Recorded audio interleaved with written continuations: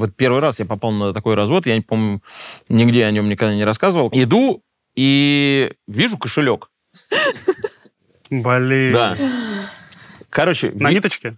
Нет? не, Лех, не до такой степени. И я, значит, Ага. наклоняюсь его поднять, и Сразу. сразу мимо меня бежит А, чувак. вот это история, когда давай поделим. вот да, да, да, да, да. Понял. Поднимает, я говорю, «Блин, там 700 долларов, давай поделим. Вообще пошли за угол. А нам только в этот день дали премиальный. После похода. Да, меня, видимо, после, или кто-то меня стуканул, Знал, да. Но я сколько там потерял? Не, не все деньги, 200 или 300 я отдал. А ты сразу понял, что да, какая-то херня? Нет, только потом. Когда кому-то Когда- рассказывал, тебе когда- сказали, Нет, когда, чувак, когда я понял, да. алло. Нет,